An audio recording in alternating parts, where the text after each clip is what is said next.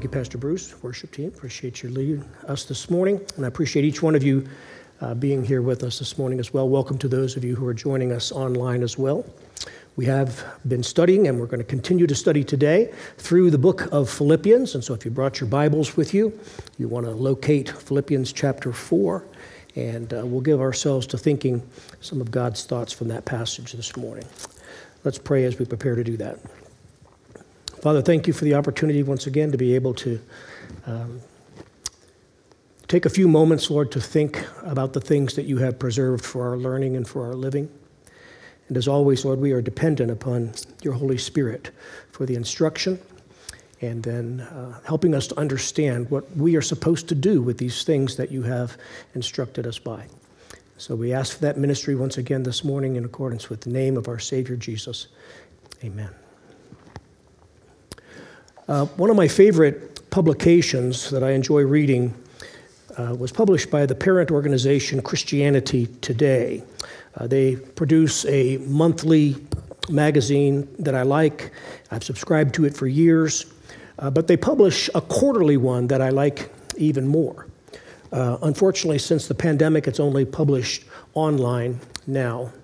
It's called Leadership Magazine, and uh, back in the day, whenever it came in the mail, I'd always unwrap it right away and dig into it. It always had outstanding articles and insightful news bits. It always had helpful methodologies uh, for organizational leadership and management. It always contained uh, tremendous ideas for living the Christian life, and in particular, walking with God through the context of local church ministry. Leadership, a practical journal for church leaders. And frankly, um, it's a journal that always tackles the tough issues, the difficult dilemmas that we oftentimes face in church life, particularly for those who are in leadership. In my personal files in my office, um, I still have some of their issues on church politics, uh, community impact, uh, the issue of spiritual vitality, the issue of the supernatural in everyday living, and uh, living with one another in church health. It's great stuff, really, really excellent material. But for me, having said all of that, uh, what I think I liked the best are its cartoons. I love cartoons.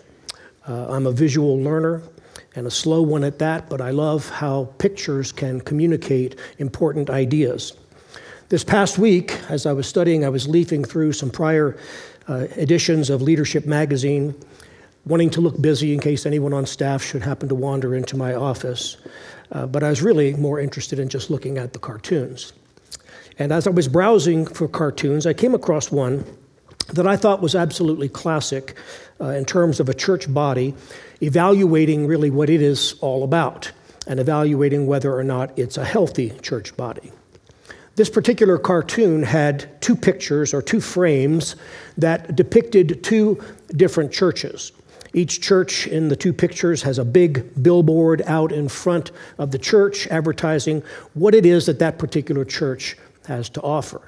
And I purposely didn't copy these pictures onto the big screens this morning because I wanted you to sort of imagine them in your mind's eye rather than seeing them up there. The first picture has a billboard out front. In fact, uh, the billboard is even bigger than the church. And on the very top of the billboard, it says in bold letters, The Lite Church, L I T E.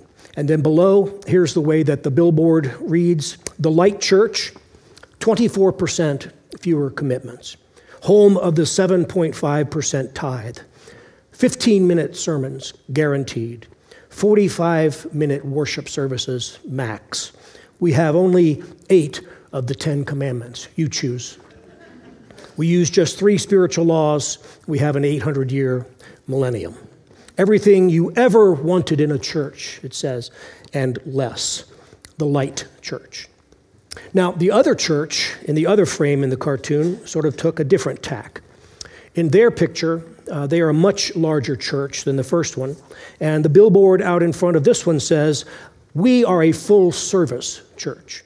And then the billboard lists all the things that you can get at that full service church.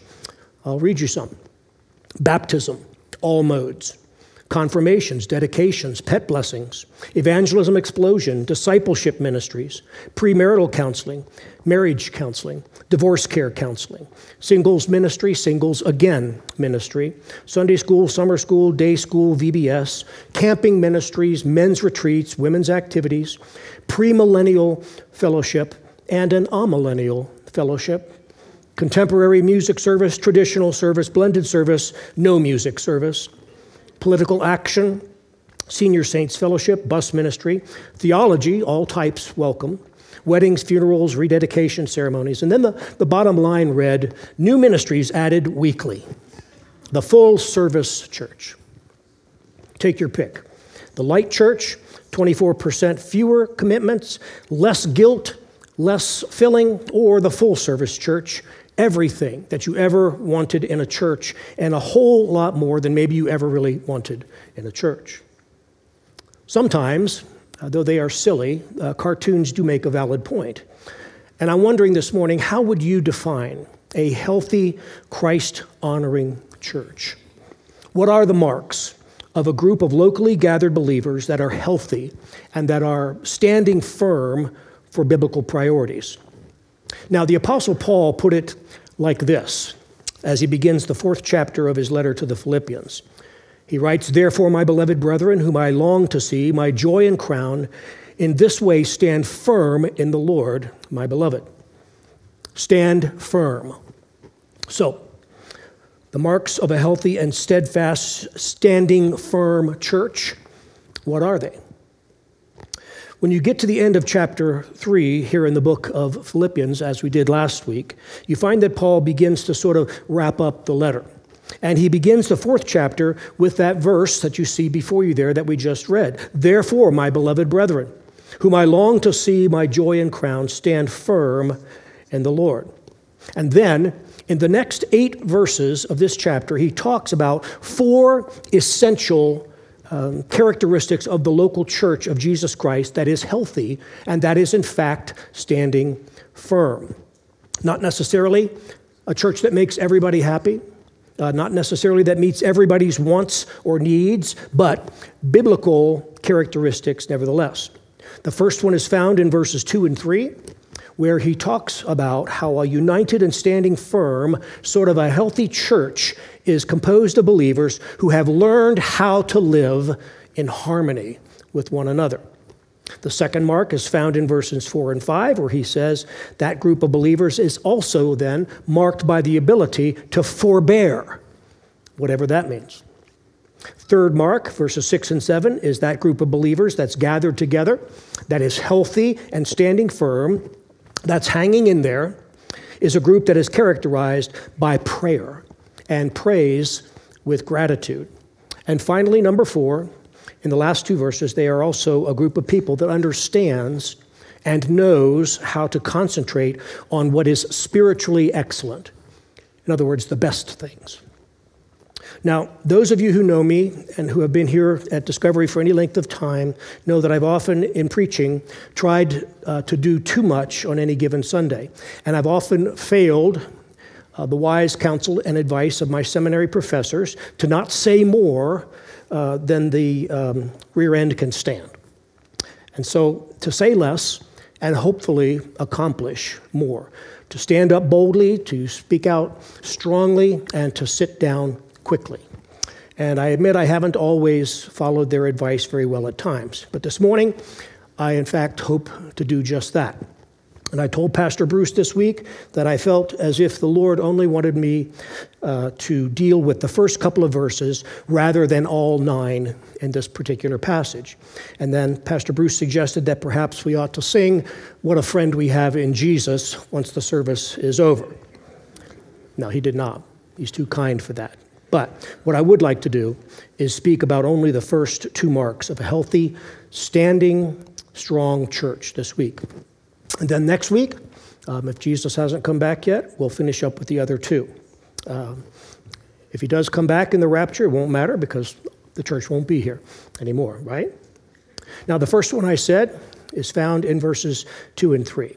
The Philippians, or any local church uh, for that matter, if they're healthy, They have figured out, they have learned, they have done the sometimes difficult work of embracing how to live in harmony with one another. Look at this section. Paul writes, I urge Euodia and I urge Syntyche to live in harmony in the Lord. Indeed, true companion, I ask you also to help these women who have shared my struggle in the cause of the gospel, together with Clement also and the rest of my fellow workers whose names are in the book of life. Now, here's the deal, folks. Um, if the Apostle Paul were here this morning, and if we were, in fact, the Philippian church, and if he was standing up here where I'm standing, and if he was reading uh, this letter, I'm convinced that he would come out from behind this little pulpit here, and he would step out a step or two, and he would say, Now, I'd like to say something here, folks. And he would fix his gaze on someone in the congregation, and he would say, Euodia, I want to urge you to do something. And then he'd look over here and he'd say, And Syntyche, I want to urge you to do something. You two ladies, you need to agree. You need to live in harmony with each other. And if Euodia was sitting over here and Syntyche was sitting over there, I imagine that their eyeballs would about, you know, this big, right? Well, we're getting called out. Because in point of historical fact, there were two women in that church that were figuratively at each other's throats. Interestingly, in Greek, their names are sort of revealing. Euodia means pleasant journey or smooth sailing, and Syntyche means gracious or grace filled or with a favorable experience. And yet, what is revealing is that apparently neither one of them was living up to their calling or their names in the context of their relationship in the church. Dr. Uh, J. Dwight Pentecost, in his great little book on the book of Philippians, describes it this way. He says, Two women in the church at Philippi have apparently been carrying on a long standing feud. Paul specifically addresses these two women by name. And let me interrupt that quote there from him for just a second here because I think he's very right. There are two ways that the Apostle Paul addresses this with some passion, with, with great emotion, really. First of all, and not to get too technical here, but uh, if you're writing something in the Greek language, which Paul is, and if you wanted to indicate that what you were going to say next had to have some prominence, had great emotion connected to it, what, what you would do is you would drop the connective off. By that I mean, but uh, usually in Greek thought, you would always have a, a kai, K A I, which is and in English, or you would have a de, which is a but, B U T. You would always connect your sentences that are in the same stream of thought with an and or with a but. But in this verse, when he says, My brethren, stand firm in the Lord, there is no connective. He just comes right out of that command or imperative and he says, Euodia, Syntyche. And the second way that you would add emphasis to what you would want to communicate is that you would use separate verbs with each name in order to drive home the point. If you have a uh, NASB Bible with you this morning, uh, you can see he does just that. He says, I urge you, parakaleo, Euodia, and I urge you, parakaleo, Syntyche. Dr. Pentecost goes on and he says the sad thing about Euodia and Syntyche is that they had let a personal grievance disrupt the assembly in Philippi and refused reconciliation with each other, to the point that the news about their quarrel had spread from Philippi all the way over to Rome, where Paul was. We do not know who these women were. We do not know what their conflict was about. The only thing we know is that their disunity threatened the testimony of the body and needed dealing with. Now, if you've spent any time in a family, and I think it's safe to say that we all have to one degree or another, you know what conflict is all about, right? Conflict happens when two or more people disagree, or they plant their feet and they lock their horns and they exchange words. And, you know, each person in that conflict, in that disagreement, wants to win. In fact, what often happens is that winning becomes more important um, than the original issue ever was. In fact, oftentimes in a disagreement, the original issue practically gets forgotten. And it's really just all about winning. I'm not going to lose face in this deal. I'm not going to back down. You get offended and you create uh, distance. It happens in a family, it happens in a church, uh, because in many ways, a church is very much like a family. My wife, Jennifer, is the office manager at a law firm here in northern Colorado. Um, and one of the things that is very remarkable is that oftentimes when um, people are involved in litigation, uh, suing each other, it's families that are doing that. And it's oftentimes over some offense or some business matter or, or some finances.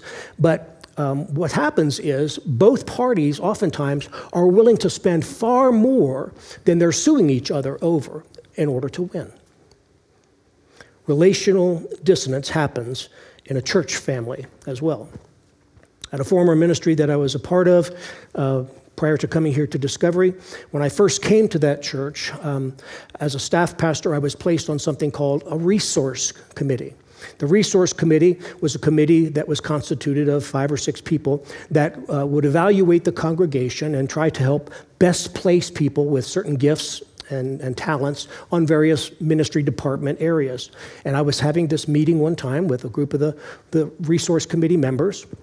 And I um, said, I think that um, this fellow here, his name was Don, I think Don would do great on this particular ministry department.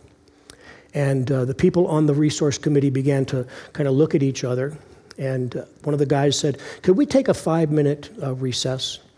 I said, Sure, let's do that. So everybody took a five minute recess. And that fellow stayed behind and he said, We can't um, put Don on that ministry department. And I said, Why? He said, Because Jack is on that department. So, so what's the big deal with that? He says, Well, those two guys can't stand each other.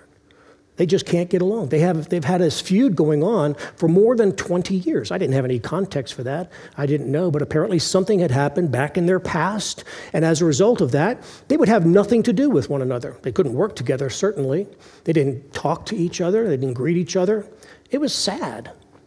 And I said, well, folks, we've got to do something about that. I mean, here I am, a relatively young, naive pastor, but I just felt like that's just not right.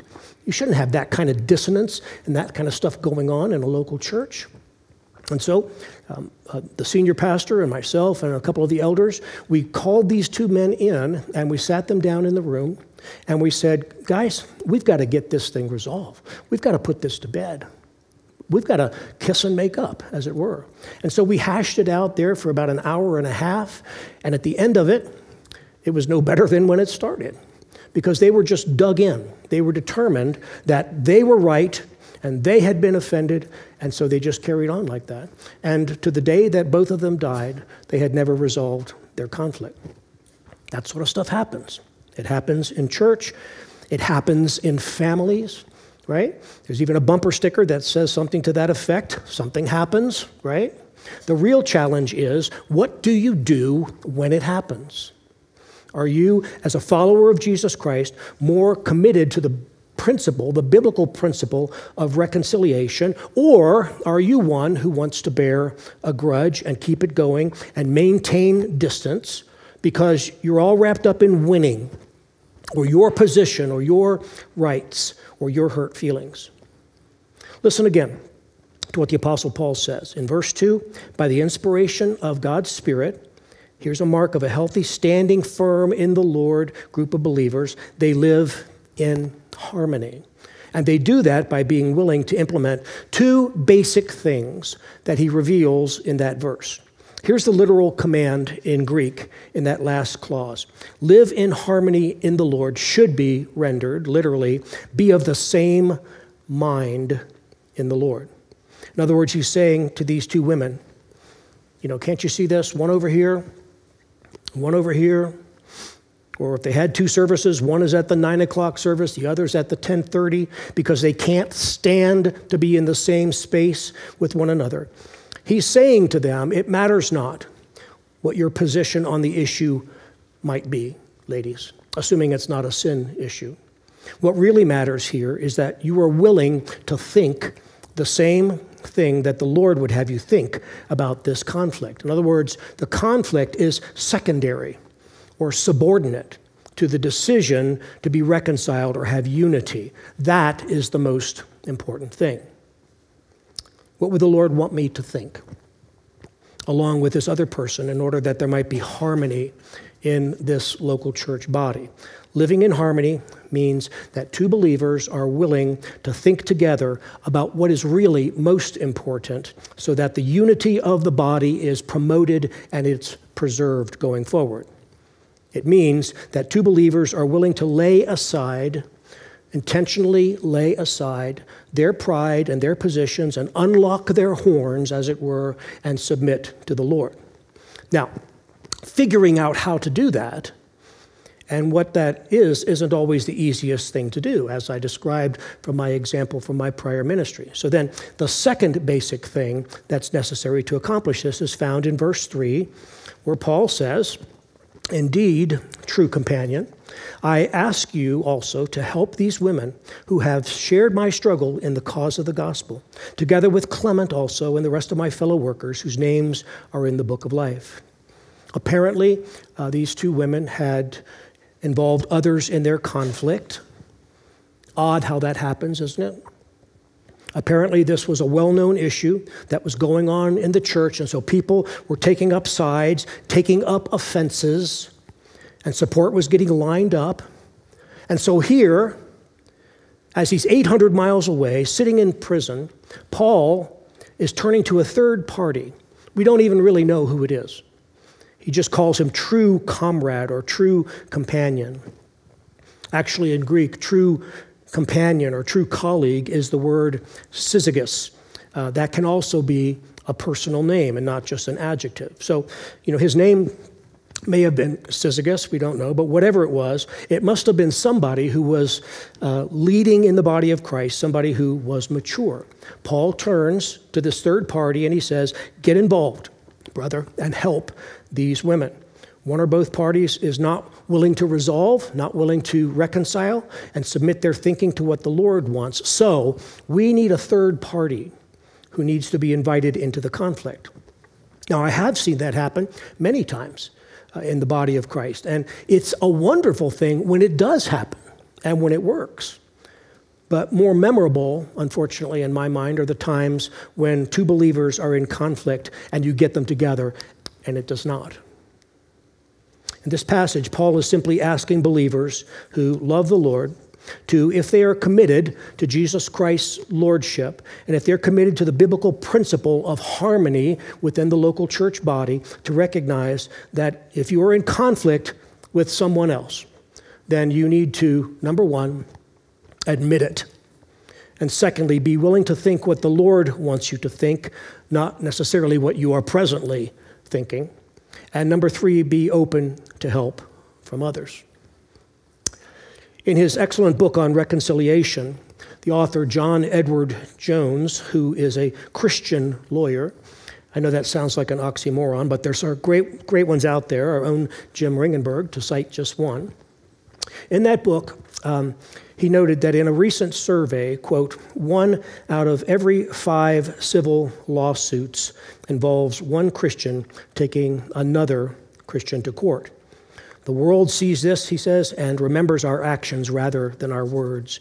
We are the Bible that people read, and unfortunately, so oftentimes our lives do not line up with the word we say we follow. Reconciliation takes guts and humility. And it means that Christians have to admit that they aren't perfect, they aren't always right. Not hiding behind a spiritual facade, not ignoring the word.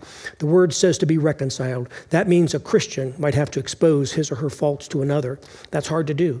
And yet, in the church I attend, he goes on to say, we've set up a ministry to help Christians reconcile their disputes, and it has worked well, sometimes to the amazement of us all. The first mark in Paul's mind, of a spiritually firm and healthy body was that it had believers in it that were willing to reconcile, even to get help to see that happen if needed. Now, there's a second mark that kind of goes hand in hand, or hand in glove, not a boxing glove, by the way, with that first one, and it's found in verses 4 and 5. The second mark of a healthy, standing, firm body of believers is the ability of the believers in that body to forbear with one another. To forbear. That's an old English word that we don't uh, use much anymore. But look at the verses. Rejoice in the Lord always. Again, I will say, rejoice. Let your epieikes, your forbearing spirit, your gentle spirit be known to all men. In other words, let it be on display. And he says, The Lord is near. So again, Paul is 800 miles away, sitting there in his jail cell. But in effect, he says to them, even at this distance, I can tell from what I'm hearing that too much energy there in your church is being spent being irritated with each other rather than in rejoicing in the Lord. Stop doing that. Instead, rejoice in the Lord. I'll repeat myself and say it again because this is important, Paul says. Rejoice. Too much irritation, not enough joy. Too much fussing and complaining, not enough praising God for his activity. Too much negativism, not enough recognition of God's presence and, and trusting in him to work. Too much frustration with each other and not enough concentration on God's gracious work in your life. So here's what you should do you should forbear and praise. Forbearance um, is defined in Webster's dictionary, as you can see, as fair mindedness. It's an attitude of a person who is charitable towards the faults of others, who's merciful in his or her judgment of another person's failings. Sometimes it's just helpful to recognize that you know so and so is an EGR person, right? An extra grace required person. Uh, we are all of us probably uh, that way at different times and in different contexts.